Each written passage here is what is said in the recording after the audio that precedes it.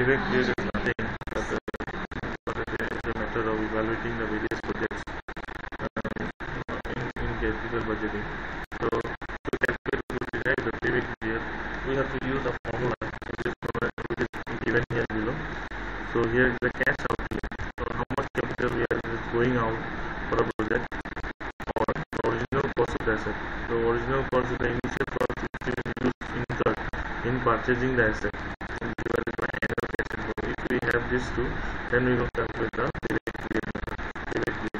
So here you can see when there is, an, there is a position that a project was rupees 1 lakh. So and yields and when it generates an annual cash inflow of rupees 20,000 for 8 years. So the time period, the time lag to uh, the payback period is 8 lakh. So here we have to calculate the, calculate the period. So that to get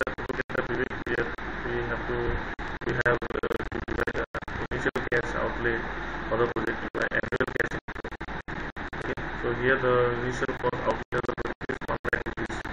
Okay, 1 lakh rupees and and uh, the cash flow is is 20,000. So if we divide this 20,000 uh, by uh, by we divide the 1 lakh by 20,000 we get the period. So the period is 5 years.